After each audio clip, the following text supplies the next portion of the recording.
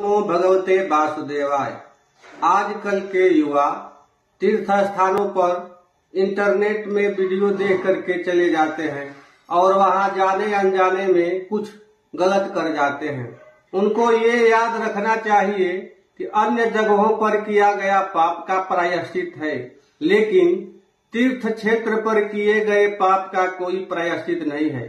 तीर्थ क्षेत्र केवल देव दर्शन के लिए होना चाहिए मनोरंजन के लिए नहीं, क्योंकि इस मंत्र में यही बतलाया गया है, जो इस प्रकार है। अन्य क्षेत्रे कृतम पापम, पुण्य क्षेत्रे विनश्यति, पुण्य क्षेत्रे कृतम पापम, वज्रलेपो भविष्यति। अर्थात, अन्यत्र किसी भी स्थान पर किए गए पाप तीर्थ स्थानों में धर्म स्थलों पर जाकर के नष्ट हो जाते हैं। लेकिन पुण्य तीर्थों या धर्म